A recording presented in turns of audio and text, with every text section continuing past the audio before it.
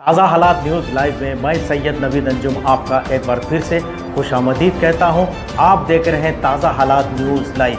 देगलू शहर के अहम खबरें मीरशाद पटेल ताजा हालात न्यूज लाईव्हमध्ये आपल्या सर्वांचे स्वागत करतो। आपण पाहत आहात ताजा हालात न्यूज लाईव्ह आत्ताच माननीय गोजेगावकर पाटलांनी तहसील कार्यालयामध्ये एक निवेदन दिलं आहे त्या निवेदनात व्यवस्थितरित्या मांडणी केली गेली आहे की शेतकऱ्यांना हा जो नुकसान सोसावा लागला आहे जो की अति पावसामुळे झालेला आहे त्याबाबत सोबतच त्याच्यात एक विद्यार्थी संघटनेचा जो कार्यकर्ता आहे त्याच्यावरती सुद्धा हल्ला झालेला आहे. त्याचा निषेध म्हणून सुद्धा निवेदन मान्य तहसीलदाराकडे देण्यात आलेलं आहे. या बोलण्यात त्यांनी स्पष्ट केलं आहे की ह्या झोपाळू सरकारनं उठावं आणि त्यांना व्यवस्थितरित्या न्याय द्यावं याची व्यवस्थित मागणी व निवेदन त्यांनी तहसीलदाराकडे केलेली आहे.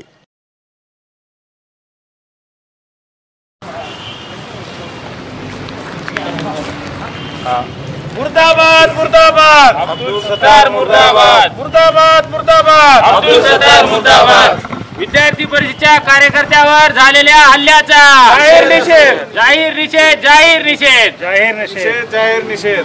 गंगाधर कोलमवार आम्ही तुमच्यासोबत आहोत. बोलो पटेल.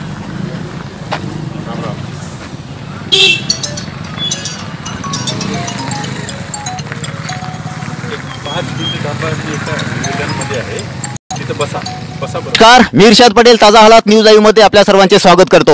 आपण पाहत आहात ताजा हालात न्यूज लाईव्ह. आज आपण व्यंकटराव पाटील गोजेगावकर यांच्या सोबत आहोत. हे- जो हल्ला झाला आहे किंवा हा जी याबाबत ते आलेले आहेत त्यांची संपू संपूर्ण माहिती आपण त्यांच्याकडून घेऊयात. नांदेड जिल्ह्यांमध्ये शेतकऱ्यांच्या बाबतीमध्ये मुगांच्या बाबतीमध्ये पिकांची जी काही नुकसान झालेली आहे आज आपण पाहतोय कोरोनासारख्या महासंकटामध्ये शेतकरी असेल इतर वर्ग असेल मोठ्या प्रमाणामध्ये संकटात सापडलेला आहे. सध्याच्या परिस्थितीमध्ये शेतकऱ्यांच्या बाबतीमध्ये परवा आठ ते दहा दिवस अतिवृष्टी झाली. पाऊस मोठ्या प्रमाणामध्ये झाल्यामुळं शेतकऱ्यांच्या हाताला नगदी पीक जे मुगांचं पीक जे आलेलं होतं पाण्यामुळं शंभर टक्के नुकसान झालेलं आहे. त्या अनुषंगानं आज आम्ही देगलूर विभागातल्या देगलूर शहरामधल्या सर्व भारतीय जनता पार्टीच्या कार्यकर्त्याच्या सर्वांनी मिळून आज आम्ही या ठिकाणी शेतकऱ्यांना शासनाच्या वतीनं मुगांचं जे नुकसान झालेलं आहे मोठ्या प्रमाणामध्ये शेतकऱ्याला मदत मिळावी या अनुषंगानं आज आम्ही या ठिकाणी निवेदन दिलेलं आहे. दुसरं धुळे शहरांमध्ये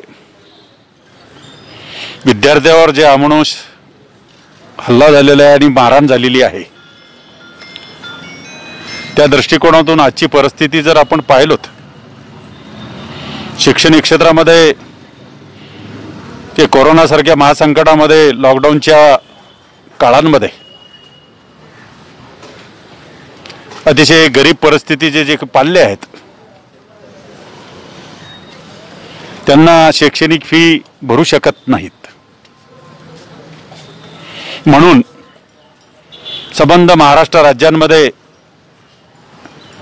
या विद्यार्थ्यांची जी काही फीस असेल ती शासनाने भरावी. आणि काही प्रमाणामध्ये आपण इन्स्टॉलमेंट करून देऊन त्यांना सवलत देण्याच्या दृष्टिकोनातून आज विद्यार्थी कोटेकलूरच्या आपल्याच तालुक्यामधला धुळे शहरांमध्ये गंगाधरराव कोलमवार विद्यार्थ्याच्या विद्यार्थी संघटनेचा तो कार्यकर्ता आहे. त्यांनी निवेदन देत असते वेळेस सर्वसामान्य पाल्ले चांगलं शिक्षण घ्यावं या दृष्टिकोनातून प्रयत्न करत असते वेळेस. त्यांच्यावर जे मारहाण झालेली आहे भारतीय जनता पार्टी नांदेडच्या वतीनं देगलूरच्या वतीनं आज आम्ही त्याचा अब्दुल सत्तारचा इतर सर्वांचा या ठिकाणी निषेध करतोय. आणि त्यांना कुठंतरी न्यायाची भूमिका घेण्या देण्याच्या दृष्टिकोनातून भारतीय जनता पार्टी विद्यार्थ्यांच्या मागे आहे. या अनुषंगाने या ठिकाणी आम्ही निवेदन दिलोत. आमचे अशोकजी कांबळे असतील आमचे नगरसेवक दासरवार असतील मुन्ना सावकार पैतवार असतील अनेक सगळे पदाधिकाऱ्यांनी या ठिकाणी शेतकऱ्यांच्या बाबतीमध्ये विद्यार्थ्यांच्या बाबतीमध्ये सध्यांची परिस्थिती काय निर्माण झालेली आहे या अनुषंगानं भारतीय जनता पार्टी सर्व मागण्या शेतकऱ्यांच्या असतील विद्यार्थ्यांच्या असतील या करोनाच्या संकट काळामध्ये ज्या ज्या वेळेस कोणी अडचणीत असेल धावून येण्याचं काम भारतीय जनता पार्टी या जिल्ह्यामध्ये करता याचंही आपल्याला दिसून आलेलं आहे. मागच्या करोनाच्या काळामध्ये देगलूर शहरामध्ये अत्यंत चांगल्या पद्धतीचं काम लोकांना दिलासा देण्याचं काम आमच्या कार्यकर्त्याकडून या ठिकाणी झालेलं आहे. म्हणून याही पुढे शेतकऱ्यांच्या बाबतीमध्ये अनेक वेगवेगळ्या वर्गांमधले जे जे काही लोकांना अडचणी असतील त्या अनुषंगानं भारतीय जनता पार्टी या ठिकाणी धावून येईल. मुद्दा म्हणून या ठिकाणी सांगू इच्छितो की महाराष्ट्र सरकार जागी झालं पाहिजे. हे झोपी गेलेलं सरकार आहे असं म्हटलं तर या ठिकाणी वावगं ठरू शकत नाही. अनेक बाबतीमध्ये कोरोनासारख्या महामारीच्या संकटामध्ये हे सरकार झोपी गेलेलं आहे. शेतकऱ्यांच्या बाबतीमध्ये देखील कुठली मदत या सरकारने घेतलेली नाही म्हणून या ठिकाणी आम्ही निवेदन दिलेलं आहे आणि शासनाला मी या ठिकाणी सांगू इच्छितो की जास्तीत जास्त मदत देण्याची भूमिका शासनाने घ्यावी आणि भारतीय जनता पार्टी जर शा शेतकऱ्याला जर कुठली मदत मिळाली नाही तर निश्चितपणाने याही पुढच्या काळामध्ये आवाज उठेल असे मी या ठिकाणी सांगू इच्छितो Yeah!